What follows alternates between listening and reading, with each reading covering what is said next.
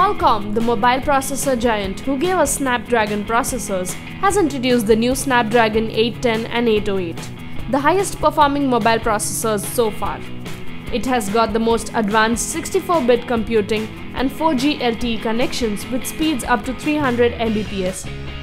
Snapdragon 810 is designed to support 4K Ultra HD capture and playback. The 810 is also powered by a first ever 14-bit dual ISP camera for smartphones, making it the ultimate processor for image and video requirements.